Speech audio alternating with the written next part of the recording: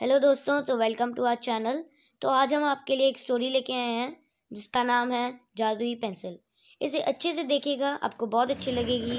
तो आइए शुरू करते हैं. जैसा कि आपको पता है कि नोबिता सारा दिन खेलता रहता है और सोता रहता है, खाता है, सोता है, खेलता है और पढ़ता नहीं है. जब सो रहा था, उसके कमरे में मोम आती हैं और उसे डांटना शुरू कर देती हैं. उसे कहती हैं कि तुम सारा दिन सोते रहते हो, पढ़ते नहीं हो. और वो उससे अप, अप, उसका टेस्ट दिखाते हुए बताती हैं कि देखो मुझे ये स्टोर से मिला है तो जिसमें तुम्हारे ज़ीरो मार्क्स आए हैं। तो ये सुनकर वो बहुत गुस्सा हो जाता है और वहाँ से भाग जाता है उसे बहुत गुस्सा आ रहा होता है। और फिर डोरेमोन उसे एक गैजेट देता है जिसका नाम है तो जादुई पेंसिल उसे कहता है कि इसे चार बार लिखने से ये पेंसिल काम करेगी और ये अपने जादू दिखाएगी तुम्हारे अच्छे मार्क्स आएँगे। वै नोबिता वैसा ही करता है। वो उस पेंसिल से अपना काम चार बार लिखता है और फिर अगले दिन जब वो टेस्ट देने जाता है तो वो बहुत खुश होता है कि आज मेरे अच्छे मार्क्स आएँगे।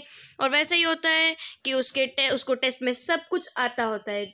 और फिर जब अगला रिज़ल्ट का दिन आता है तब वो अपने सौ मार्क्स देखकर बहुत खुश हो जाता है।